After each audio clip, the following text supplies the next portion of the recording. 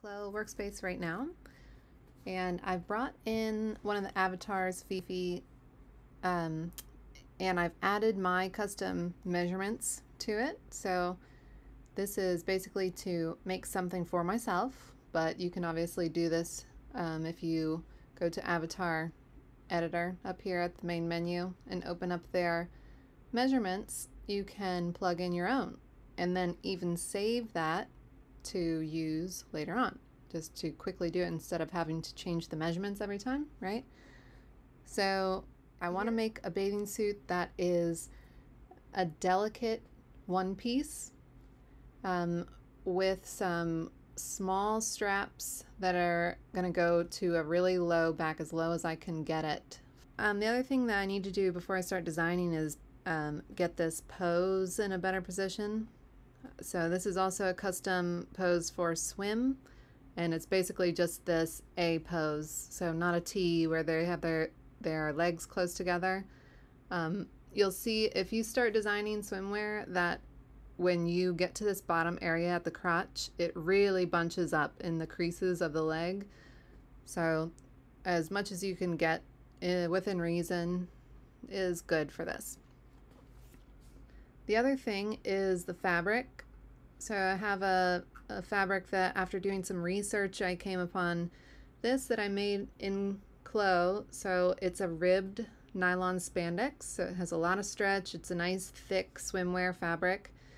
And I've added the parameters that I need to try to emulate this as best as possible. So I've added this to my object browser and that's what I'll be using to create this swimwear. We have our polygon tool, just the regular one that's going to let us do some irregular shapes and custom shapes instead of the rectangle or ellipse. Let's zoom into our avatar silhouette in the 2D window. So I want a nice um, sort of V neck shape. And I'm going to get this general shape built but then I'll probably have a lot of reshaping once I simulate and see how the fabric acts and um, assess it from there. The front of the crotch I want to be much longer so that that seam connecting the front and the back is going to be rolled towards the back. And again, the crotch area is really problematic when you are trying to simulate this on the avatar. So for visual purposes, the crotch has to be super small. But when um, you're going to print out your patterns later on, you'll need to adjust this a little bit for real world production. A good thing to do is look at a suit in something that you have. If you have a swimsuit that fits you well, look at how the POMs, the points of measure on that suit, look at what they are Okay, we have some extra fabric right here for coverage. Yeah, and I sort of like this shape. It gives me a 70s retro feel if I have this curve. I also want to do that over here. So instead of going all the way to my um, tool bar, I'm going to hold option with my regular edit tool and it switches to this edit curvature tool. So I'm holding option and I can click on that segment and just drag to edit this curve. I just want a subtle curve because um, this coverage helps, but it also doesn't really look too curved once it's on. It's just giving us a little more modesty. This is fine. I'm going to want to smooth that out. So I'm going to grab the smooth curve tool, just click on that point and drag to smooth that out a little bit.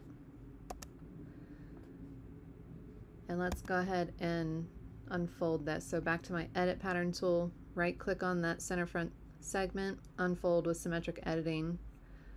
So now we have a front. If we make an edit to one side, it will be applied to the other, which is great. I'm going to select this whole thing after pressing my A key, which gives me my transform pattern tool, so hotkey A. And Command C, Command V will just copy and paste for my back and the reason why I do this, and pretty much with any, most patterns that I make, I will start my back from the front and that gives you um, the same curve for your side seam or your out seam, the same length, um, and you just make edits from there. So remember what I was saying about the style of this. I want this to be a really low back. So if this comes to, um, the side seam comes to this height right here, I would need to start my shape at this other point right here. So what I'm thinking is I'm going to go back to my edit pattern tool, hotkey Z, and I'm going to bring this down a little bit. So I have a lower area to start from when we start transitioning from the front to the back. So let's delete this real quick and just give myself a new back. So that means we have a lower start position to bring this curve in.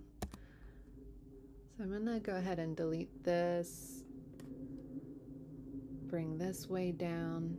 I don't want to delete that center segment or segment point yet because that will take away my symmetric editing. But I'm going to try to get this really low, really as low as I can. And then I'll curve this in again with holding option down. And with the back side of a swimsuit, whether it's a one piece or a bikini, if you want it to be really cheeky, that meaning that the butt cheeks are completely hanging out, then you can keep it relatively close to the front. But normally you're going to have the complete opposite shape. So you're going to have this strange sort of, um, we're going to have to add some more points in here. So hotkey X, and that will give you your add point tool. I'm just going to add a couple right here so we can start bringing this out. Back to my edit pattern tool, hotkey Z. And we need a shape that comes, it gives us a proper transition to our front crotch area, same as right here. So I need to bring this area in while this remains out.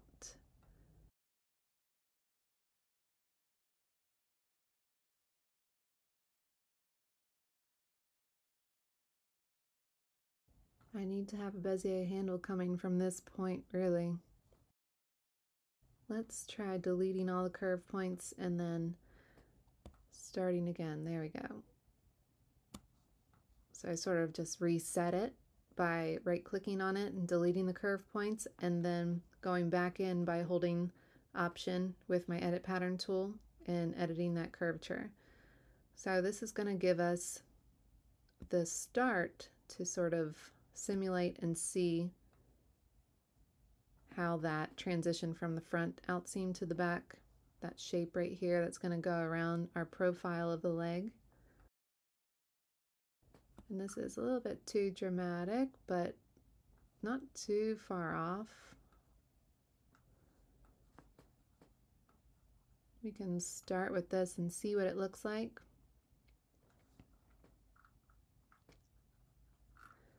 And this is a little bit too. So if you know about sewing at all, the reason why I am trying to square off these certain areas, like this crotch seam and the out seam right here, I'm trying to make it as square as possible. Or otherwise, you want it to be a continuation from the front. So if you imagine this outseam being sewn together, what this shape is going to look like is determined by the angles that these two segments come together at. Okay, so it looks a little big for um, a suit, but it might might just be fine. See, the, the one thing about this, I might need a little bit more space for the bust area.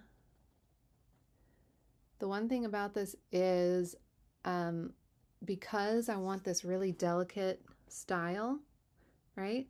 I um, I need to not have a lot of strain on the fabric. Like it's not going to be a super tight fitting. The spandex or the nylon spandex will have to stretch a bit, obviously, but um, I don't want it to have a huge amount of stretch happening, a lot of tension, so it's not creating a lot of wear on the, the delicate straps that I want. So that is why I need to make it just a little bit smaller than what it would need for a standard fabric. Helps to delete any extra points and before I would print out this pattern. If I was happy with my simulation, I would go around and convert all of these to curve points. You don't want to just straight up delete them like that because it takes away your shaping, but you would say right click and um, convert to curve point and it would go away. Okay, let's start with this shape and see what it gives us, even though we don't have our straps. Maybe we can do that really quick. So I'm going to grab the rectangle tool and because this is, let's get our arrangement points, Shift F, and I can get both of these out of the way for two seconds, which allows us to place them. And while that piece is still selected, I can go in my property editor and I can change the offset all the way down at the bottom of your property editor. The bigger the number in the offset, the bigger the curvature.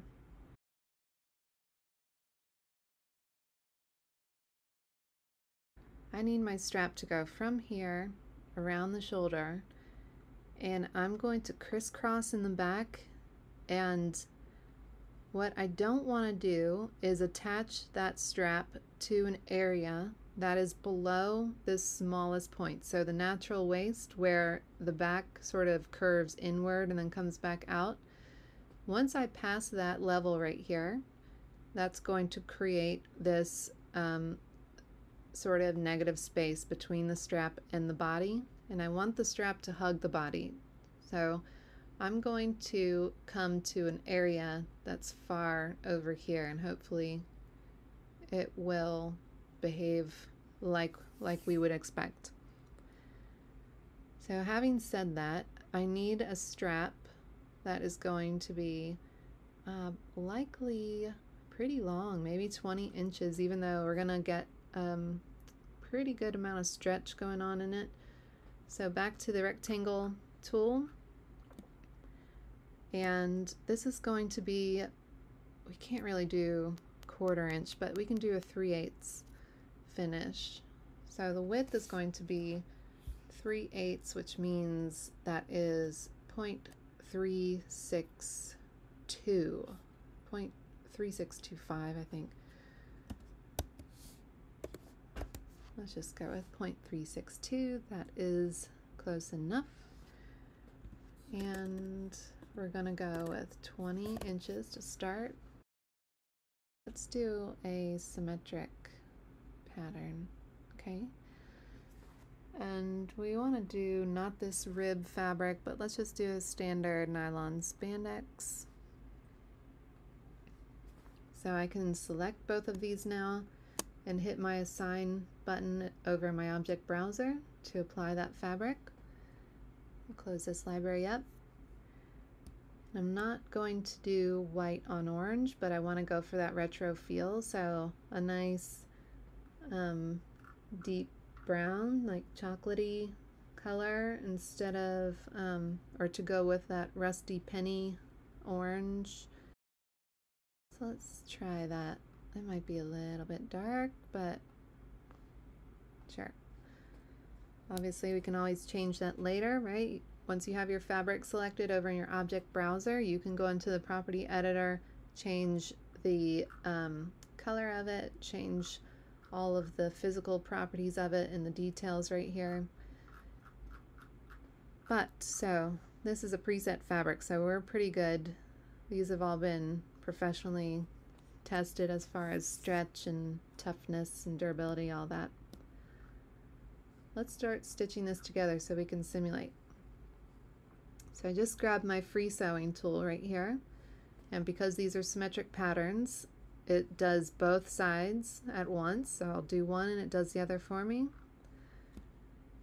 Now with this okay really quick I want to get this center elastic piece in there so I can connect these two straps to it. So let's see how long our segment is. So by getting my edit pattern tool and clicking on that segment, it shows us the dimension, which is 5.36. I don't want to create a lot of gathering, so typically you always use a shorter dimension of your elastic pieces when you're binding a swimsuit edge with elastic, right? Um, but I only want to do this very subtly so it doesn't create a lot of gathers. So if we have five and about a third of an inch, maybe we just take off that third and go with five inches. So five on the double is going to give us 10 inches.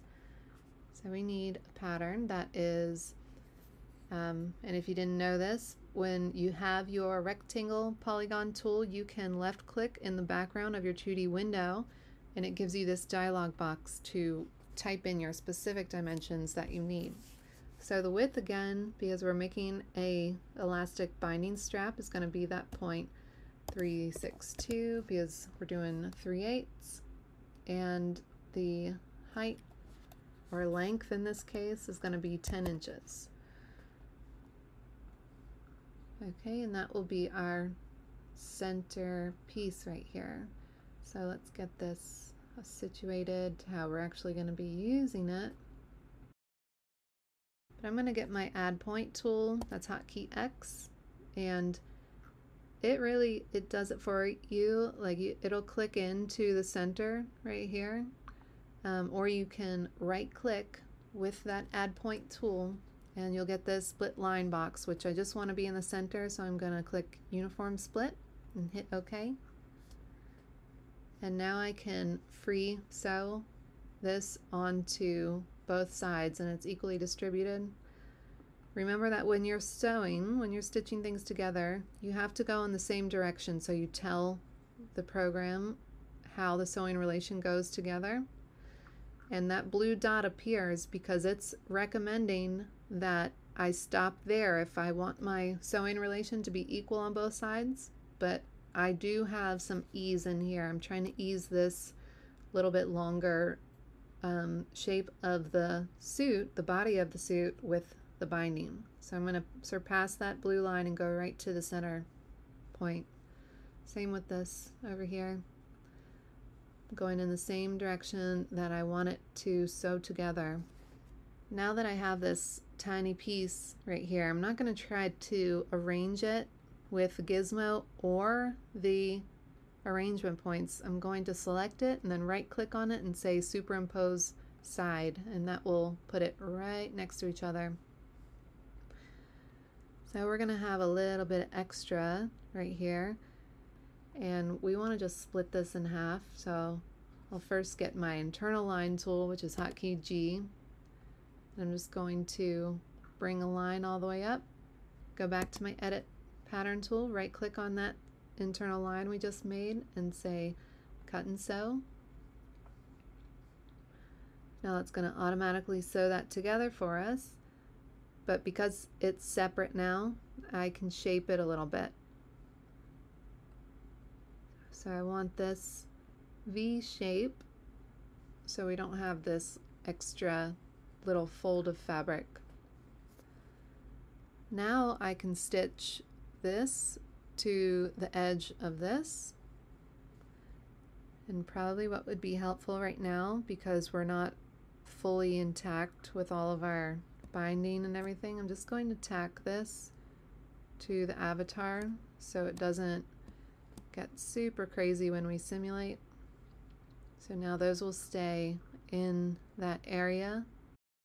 Same with this. We can, although this is a little bit high, so let's grab our transform pattern tool. Let's move this a little bit closer. So we can see how this is going to fall on the body more accurately. Now we can sew, let's see, are we in the right? No, we're opposite.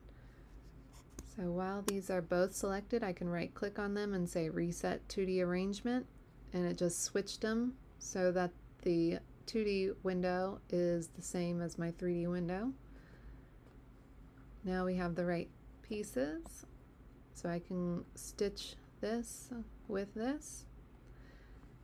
And in real world production, this would all be one piece of binding, but it's going to be much easier to um, arrange it and get our visual representation if we have them split up for a second. And I don't know about you, but I prefer this type of gizmo. So I think you have a lot more control and um, you can manipulate the pieces a lot more easily. And if you have the default one, you can just right click anywhere on the background of your 3D window and go to Gizmo and pick up that local coordinate and that will give you this same type of gizmo. Okay, so we want to stitch these to the back here now and I'm going to grab the free sewing tool. We want these to crisscross though. So this guy is going to go over here and this guy is going to go over here. Um, I can do this in the 3D window if I want. Sometimes it is a little bit janky. Okay, let's do it in this window then. So we have to think about it opposite because these are crisscrossing and it's going toward the back. So we went from outside to inside. Now we have to go from inside to outside.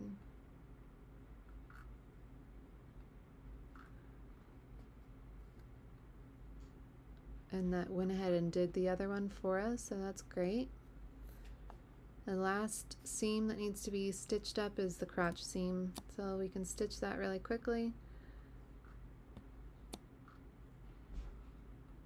And simulate, see how it looks, so far at least.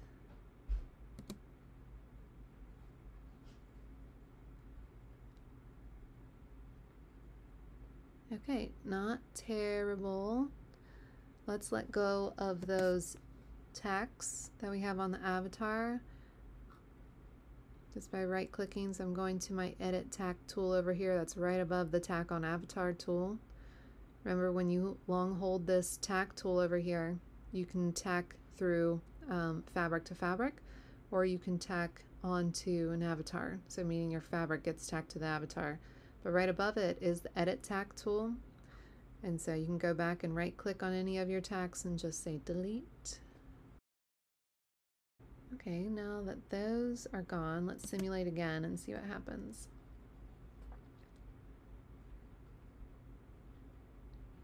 Okay, not too bad.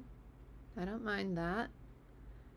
We even have a decent um, transition at the top of our side seam from front to back. This can be a little bit higher. This can be a little bit lower. And see how skinny that crotch of the front is?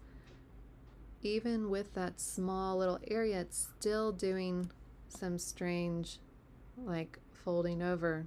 And we also have this A pose, so you can imagine what happens when we have a normal pose. So I'm going to stop simulation and make some of these adjustments now. This gaping right here at the top of the bust area, that will be controlled maybe with a little bit of shaping, but mostly with some added elastic pieces. So we'll add some more of this.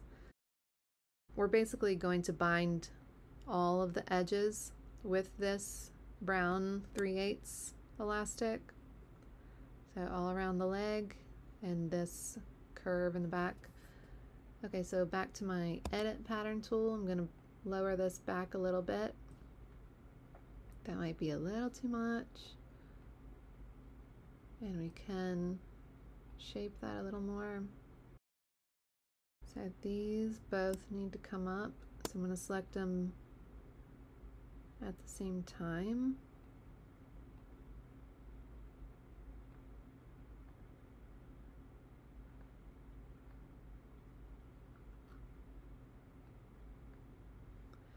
This looks like a little bit too much. Now we don't have our, um, well, a couple of things. We don't have the particle distance lowered, which we need to do that right now for those tiny straps especially. Um, but we also don't have the collision thickness and the skin offset changed. So we're not getting a fully accurate representation of the fit of this yet. But however, before we do that, because it really slows down the processing, we can get a little bit closer in shape and fit of how we want. So let me simulate again really quickly. And that is creating a little bit too much excess right there.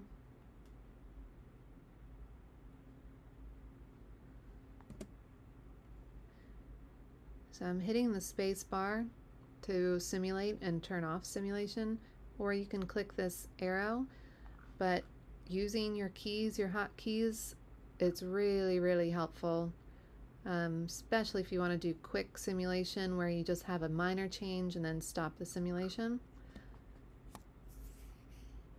It does help the workflow in general just speeds things up when you use your hotkeys on the board.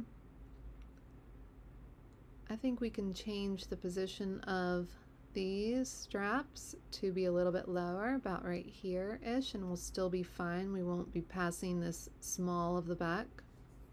So let's get our edit sewing tool, and I'm just going to click on this sewing relation here, and all I have to do is drag it down a little bit.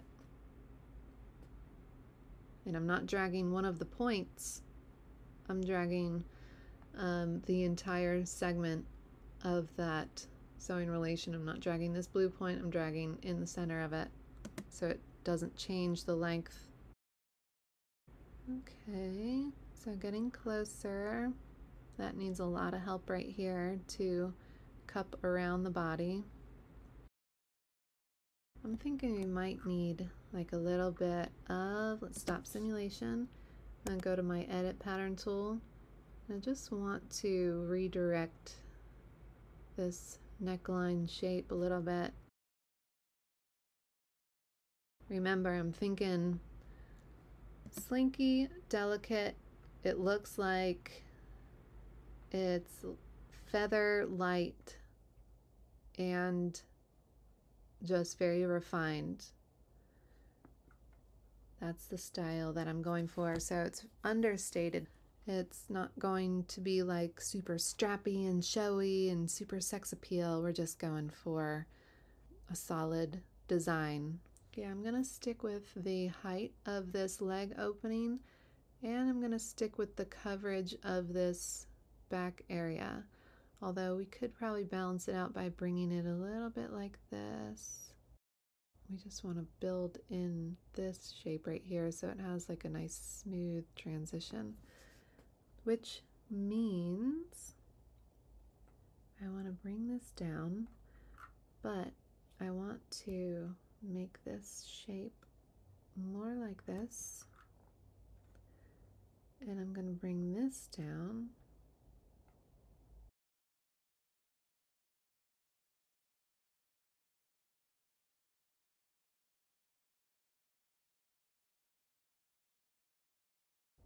Okay, that's pretty okay for right now. So now let's figure out what we need as far as the rest of the binding because we want to get this all cinched in closer to the body. It's going to give everything some good stabilized edges. Edit pattern tool. I'm going to click on this segment. We have 13.75.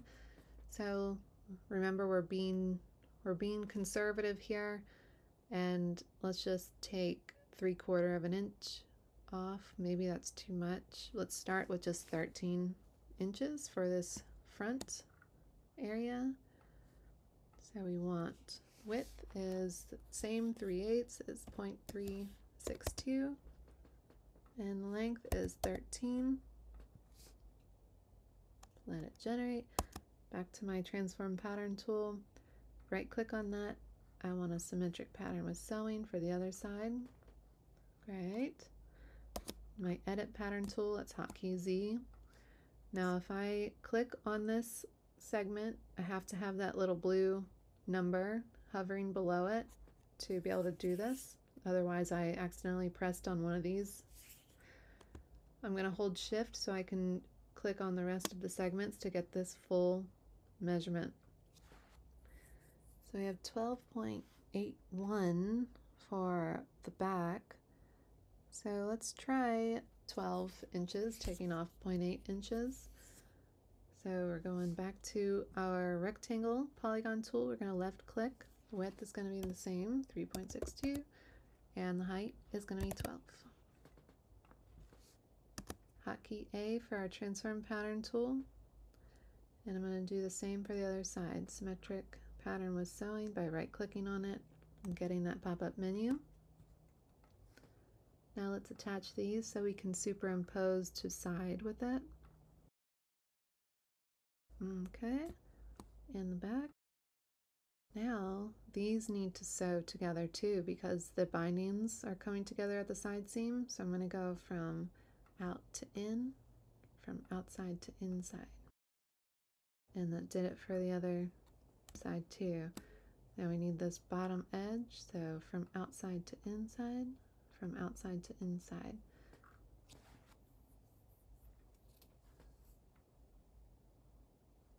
So now I'm going to go back to the transform pattern tool, that's hotkey A. I'm going to right click on all four of these pieces by holding shift and then choose superimpose side.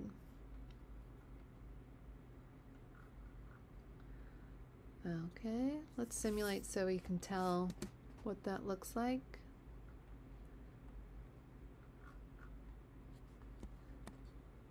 Not too bad. Okay, let's leave it there for now. Gosh, that is really dark. It almost looks like black. Oh, but this is not sewn.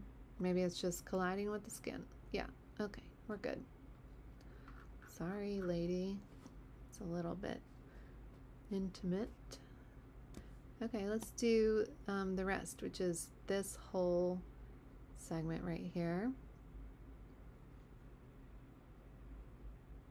And I wonder obviously it would be a single piece in the real world, even going from all the way here to the other top of the neckline. But for the sake of ease, we might want to break it up into four sections instead of just two sections because this we can superimpose on and then this we can superimpose on. And just for visual representation, we can delete the normal map for that seam in between the two pieces of binding and it, it won't look like anything and then we just take that measurement to um, with us for real world production, right? And we can always merge the two pieces later if we want it after they're situated. So again, we need to do, see what our length is, 7.78. Let's go with 7 because we have a lot of excess right here that we need to pull in toward the body right there. So let's go with 7 for that width is 3.362 and then the height is 7 get my transform pattern tool and right click symmetric pattern with sewing. Great. Now let's do this guy right here. With my edit pattern tool it's hotkey Z. We have 12 inches. Um, let's do it doesn't look too baggy. So let's do, yeah, we might as well go ahead and take a full inch off. So 11 inches. Width is 0.362. 11 inches. Okay, hotkey A to get our transform pattern tool, right click, symmetric pattern with sewing, and there's our other side. So let's sew this on here, and if it helps, I can get my transform pattern tool and sort of situate them how they would be once they're on. Okay, I'm going to get my free sewing tool and we're just going to put these on there now. And you see I'm passing up that suggested stopping point because we have ease that we're working in into the binding. Let's go back to our transform pattern tool, hotkey A, and I'm going to select all four of these new binding pieces. I'm going to right click and say superimpose side. They go right to their home. The reason why that's so beneficial to use instead of using arrangement points or just trying to get a gizmo arrangement with it is because those pieces are tiny and also they go right to where they're supposed to go. Um, what did we do here? Did we do the outside? Let's check. Here's my edit sewing tool. Um, is that the correct piece? That is on that side. Let's see what happens when we simulate. Hmm.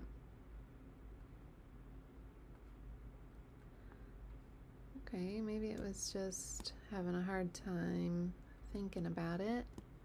All right, let's sew these little seams up. Okay, I'm going to stop simulation by hitting my space bar. I'm going to grab my uh, free sewing tool.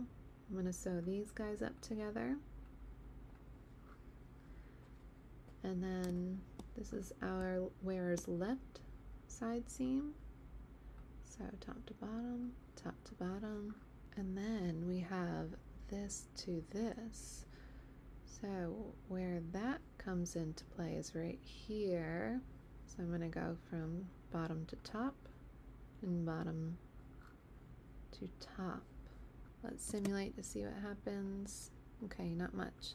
Let's go ahead and decrease the particle distance of the really small pieces at least. So I can go around with my transform pattern tool while I hold shift. It will let me make these multiple selections. And then in the property editor, you come down here to where you see under simulation properties particle distance. I'm going to take those all the way down to three because they're so tiny. Normally five is like a pretty standard um, high quality particle distance, but you can go lower if your pieces are, are smaller.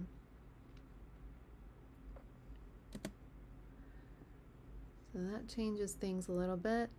We can bring our main body of the suit down too. I'm not going to go to three, of course, but let's go down to like, I don't know, 12 and simulate.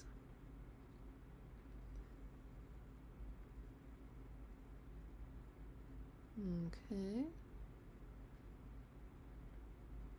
This has more of a curve, but maybe we don't need as much because clearly it's having trouble um, bringing this in. It's going to create a lot of gathering, which might look really pretty.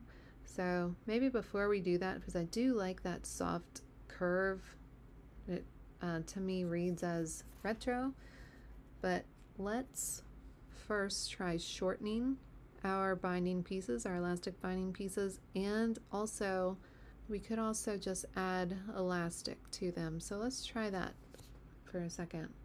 Although it does take more processing power when you do this. So with our transform pattern tool, it's hotkey A. I'm going to open up property editor. And with the elastic property, if you haven't worked with this yet, it is um, it's really great, but it makes things a lot harder to move quickly in your in your workflow. So you have the option here, see in the property editor, whatever you have selected, you can select an entire pattern piece and elasticize it, or you can select with the edit pattern tool, you switch over to edit, and you can do just a single side of it, just one segment. I want to do the entire thing because in real life this will be fully um, filled with an elastic piece, a 3 8 um, rubber elastic.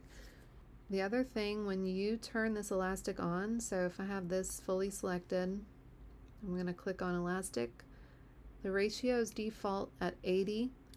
So we we could keep that and see what happens because basically what that's saying is we want to make that elastic binding 80% of what its 2D length is. So if this was whatever, seven inches, I think we made it, 80% of that, which it tells you over here, um, real quick before we simulate, if we wanted to make this pattern piece stay at the 2D dimension that we created it, because it was seven inches, I think, and we could say, um, I want you to stay exactly seven inches. I don't care if we sewed you into a 20 inch panel and it stretches you out. No, we want you to stay at, at seven inches. You would just type in 100% ratio. We kept that 80% um, default, so let's see what happens there.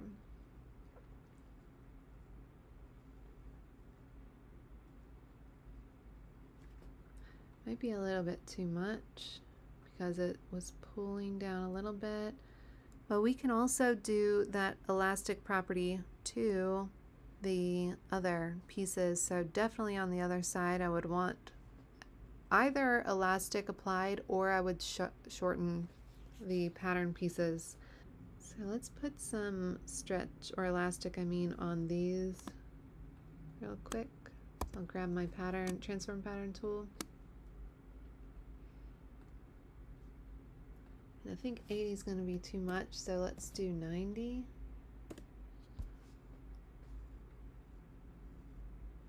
Let's see what happens. Ugh, that's not good right there. So I think we need to also make a little internal line in within this binding so it can stitch to the top of this where they intersect with each other. That will sort of keep it a little more stable. So that's definitely too much. Let's see how much they're stretching anyway. So let's turn elastic off and simulate. Okay. Our 2D line length is 40.72. Remember, because we made 20 inch length straps for the top there and the 3D line length is 45. So even if we put in 100% for the elastic ratio, we would be losing 5 inches. So let's try 100%.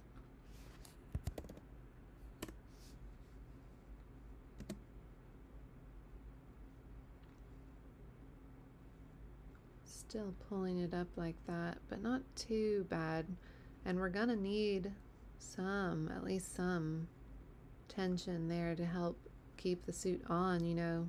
We want to get this really nice balance between keeping the suit on and not being horribly tight and taut everywhere.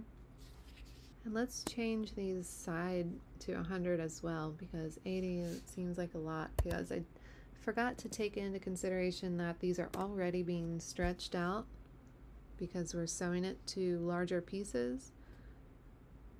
So 80 is pretty hardcore when you think about it. So that looks nice, like it's keeping on the body. It's cupping around the bust, but it's not super tight. Let's try these leg bindings and do a hundred as well. And simulation is already on.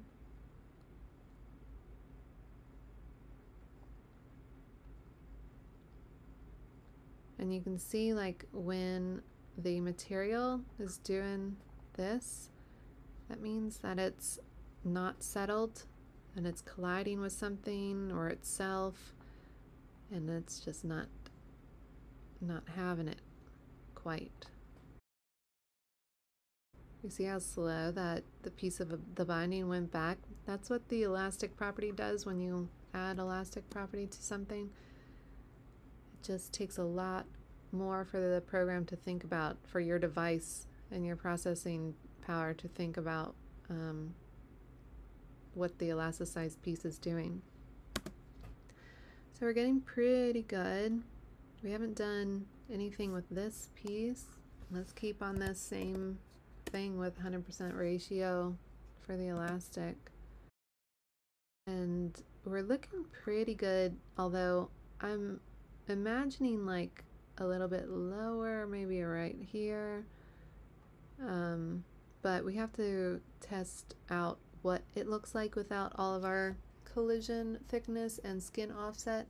So before I do that really quick, I'm going to do one little thing. So I'm going to stop simulation and you see where this is coming up to, um, it's sort of like folding over the binding. I want to stitch this outer edge of the binding right here to this back strap. And if we want to apply a stitch like that, if we want to sew an edge to that, we need an internal line because it's in the center of a pattern piece. So I'm going to grab the internal line tool and that means that we are right down here. And to be right where that wants to be, remember the thickness of the binding is 0.362. So that's where we want our line to be. Oops. 0.362. Perfect. I'm to go straight across. And there's our internal line. And now we need to know where this is. We see that blue dot in the 3D window while I have my simulation on. It's really great because it shows you in the 2D window where that position is on your pattern. So now I know where to start sewing from.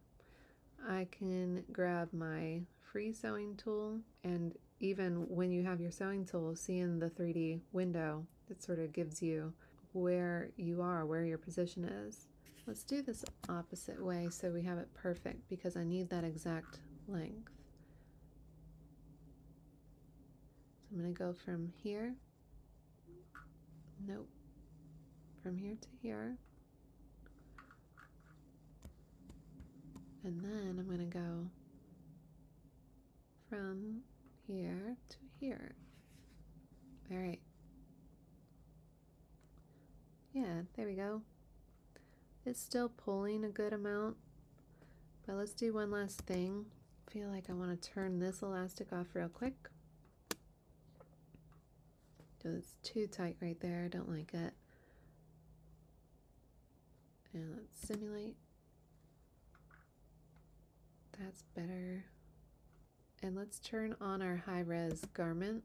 So I'm going to stop simulation and this will definitely make everything move a lot slower but because we don't have a lot a lot of pattern pieces and this isn't really complicated we sh shouldn't be too bad we do have a lot of elastic applied though and I'm working on a Mac so it's not the ideal situation for Clo you would like to have a a PC with an NVIDIA um, GPU, but what you gonna do? Okay, so our high res is right here, a high res garment. And if you long hold on that, you'll you'll get the low res garment as well. So if you need to return back to the low res where everything's 20 PD, um, so you can continue working, you don't want to work in this setup. It's not good.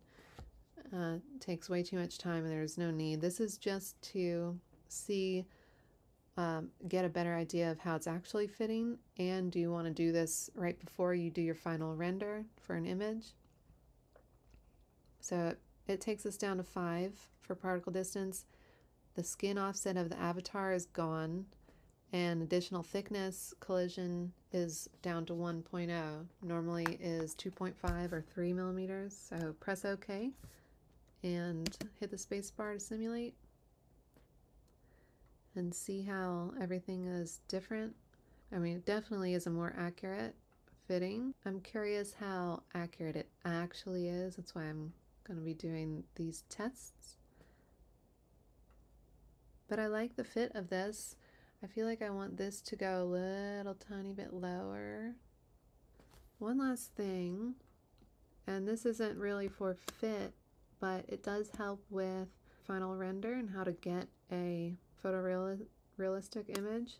I'm going to select all these little bits because I know that this is going to be a fold over edge um, or a fold over binding so there there will be essentially two layers while those are all selected I can come down not the additional thickness collision remember that's your barrier for between other pattern pieces and between the avatar so it's like a little invisible barrier we want additional thickness render and what this does is, is it makes any pattern piece have actual thickness to it. So I'm to put, I'm to put two millimeters in here and hit enter. Now to be able to see this, you have to have this thick textured um, texture view selected. Not the textured surface, but thick textured surface. And now you can see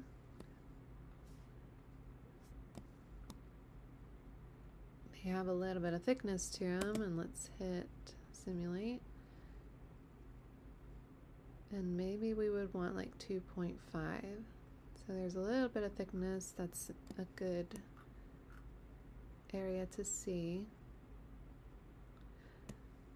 so that's 2.5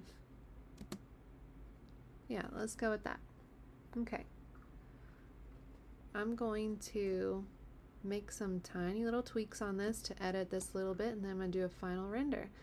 So I hope that this helps. If you're trying to design a swimwear piece for yourself or just for your brand or another person that you know, know that you can have a really good looking image and fabric first of all is everything when you're trying to get an accurate representation and simulation for what you expect the the real world product to look like when you finish producing it.